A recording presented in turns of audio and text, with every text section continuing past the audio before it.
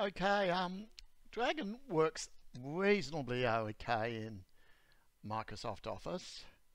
Um, I would first learn to use DragonPad before you start learning Office and Word and all the other applications, but let's have a go anyway.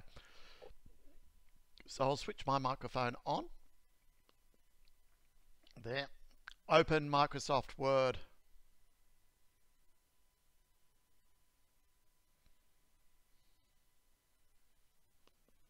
And I switch it off.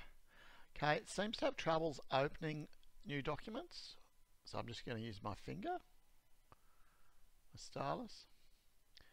Then I'm going to go in and type.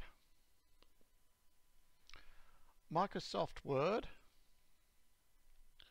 is part of the Office suite.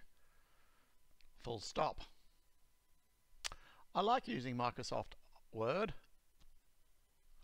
with Dragon dictation, but sometimes the commands can be a bit frustrating.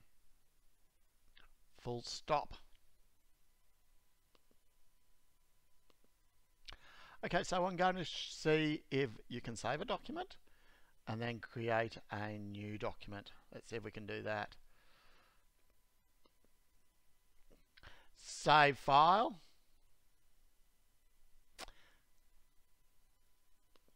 Well, that seemed to work straight away. It came out as to save file to that drive there, which is pretty good. I'm going to cancel that. Turn the microphone back on and see if it can create a new file. Create new file. Okay, so it's just a matter of learning a whole list of new commands. Take it slowly.